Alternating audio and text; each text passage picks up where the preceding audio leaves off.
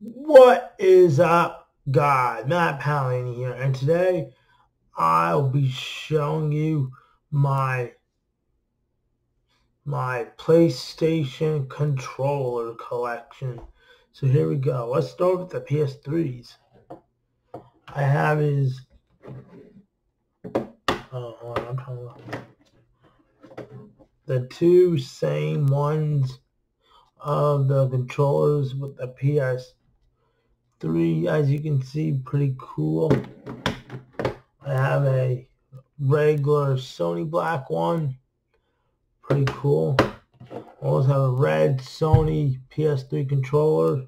And now we see this. I also have a PS4 controller as you can see. Pretty cool. I have it right here a black one.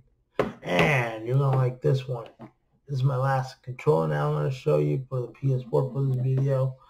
I also have is the camouflage one, the brand new one that I love.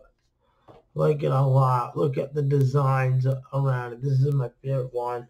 And look what it looks like too. Bam. So that is pretty much it for all my collection on my um, PS3 controller and PS4 controllers. So guys, once again, if you like the video, leave a comment and subscribe. Happy Friday. Peace out, guys. See ya.